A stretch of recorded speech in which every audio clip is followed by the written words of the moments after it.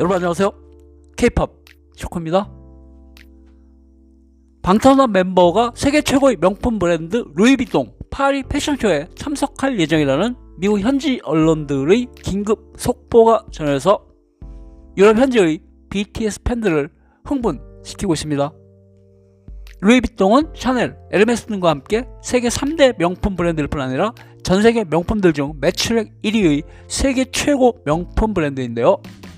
1월 15일 미국 현지 언론들은 2023 가을 겨울 남성복 패션쇼가 오는 1월 19일 프랑스 파리에서 개최될 예정이라고 보도했습니다.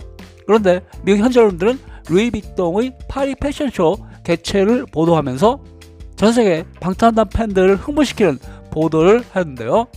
바로 이번 루이비통 파리 패션쇼에는 세계적으로 유명한 뮤직 스타가 참석할 예정입니다. 라는 보도를 내보낸 것이라고 합니다.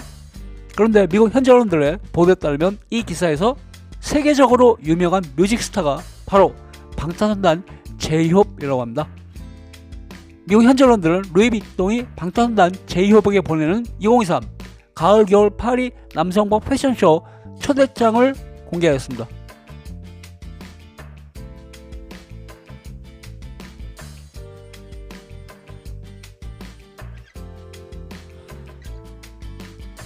방탄소년 멤버가 세계 최고의 명품 브랜드 루이비통의 패션쇼 현장의 맨 앞줄에 초대받아서 참석하는 것은 이번이 사상 최초라고 합니다.